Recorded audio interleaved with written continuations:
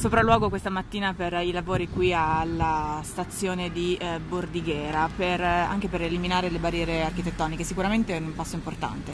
Ma certamente era quello che ci voleva, che la cittadinanza, sia quella esterna, cioè quella che veniva da fuori, che quella locale, chiedeva. Io personalmente sono una che viaggio molto in treno, quindi questa, diciamo, questa esigenza ci voleva.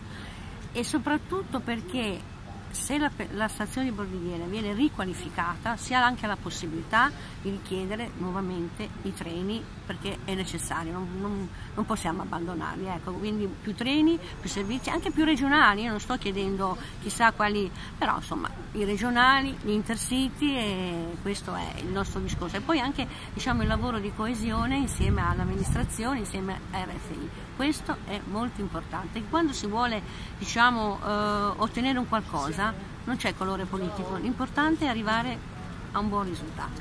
Grazie.